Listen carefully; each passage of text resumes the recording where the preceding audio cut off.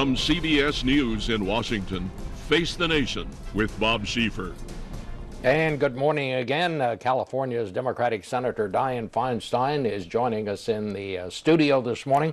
Uh, Senator, you introduced this legislation Friday uh, to ban assault weapons, reinstate the ban. Uh, you got this passed once before, it was uphill all the way.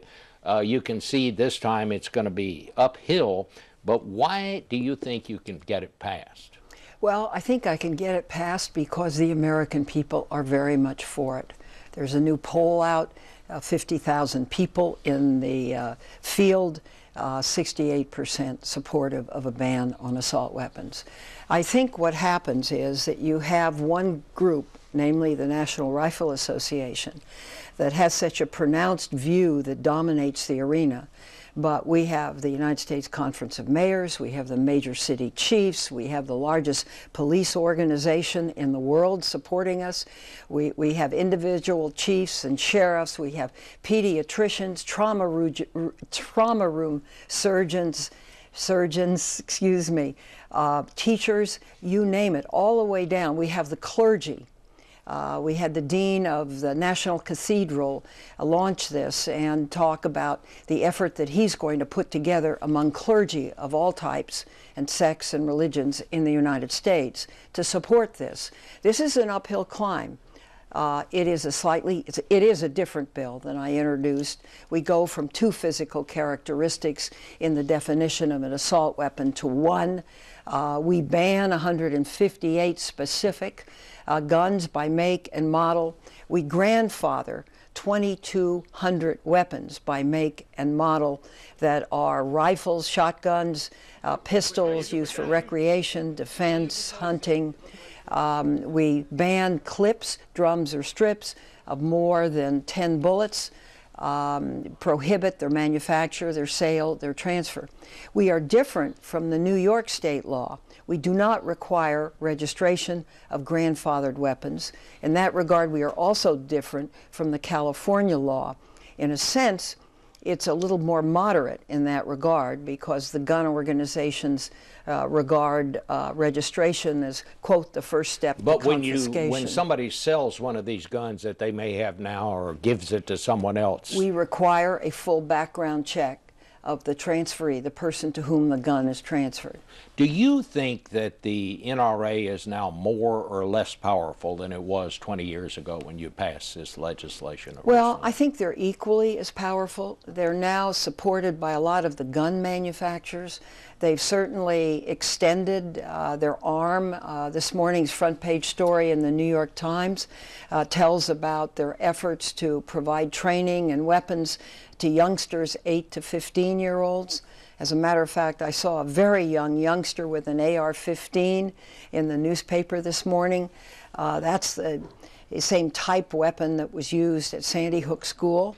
I know what happened to the bodies at Sandy Hook School. And um, to have these weapons uh, just floating around our society, and particularly with youngsters who are by, by nature unpredictable, um, is a bit frightening. Let, let me ask you this. Uh, some people clearly see, and I think they're sincere about it, uh, that they just feel this infringes on their rights and that this is the first step to taking their gun away from them. Well, let me talk about rights for a minute. Does a child have a right to be safe in school? Does a law client, when it goes, he goes into a law firm, have a right to believe he's safe? Does a shopper in a mall have a right to believe that she's safe? I think so. And what's been happening as these incidents happen, look at Aurora. People sitting in a theater, somebody with a hundred rounds in a drum came in and just mowed down people. Do people going to movies have a right to be safe? Want to talk about rights? Talk about the rights of the majority too. What about uh, uh, what about the uh, the idea that which some gun rights supporters uh, cite? They say, look. Uh, all of this is just to make people feel good. It's just kind of feel good legislation that in the end it's not going to stop these kinds of incidents. Well, that's absolutely not true. Uh, what we are trying to do is overall see that weapons, I would like to see them all registered. It's not in our bill, but see that weapons are in hands of responsible citizens, that they are used legally, not illegally, that they do not fall into the hands of gangs. Do you realize we have 150,000 plus gang members in, in this uh, nation? When they go up against the police, it's generally an AK 47. Uh, you realize that police have had to break into gun stores uh, to get weapons that would be stronger than the adversary they had. Uh, you realize that one out of every five law enforcement officers that's killed is killed with an assault weapons. Do you need assault weapons? These are weapons that are made to kill large numbers of people in close combat. And what we have found that now with the AR-15, they have a slide stock which you put in, it's legal, and it makes the gun act fully automatic. Let me uh, change the subject just quickly because you are so also chairman of the Intelligence Committee.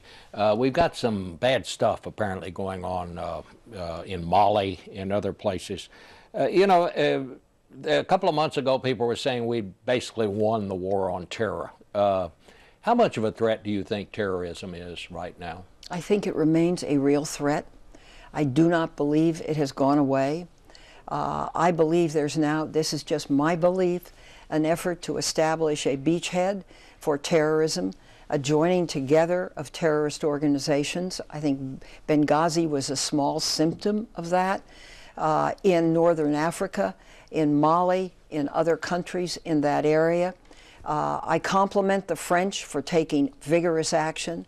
I believe very strongly what the United States needs to do is put together our allies into an alliance, bring in Russia, bring in China, because I think it's to the interests of civilized countries to have an apparatus to be able to take down and rent asunder terrorist groups wherever they appear. All right. Dianne Feinstein, thank you so much. thank you very much.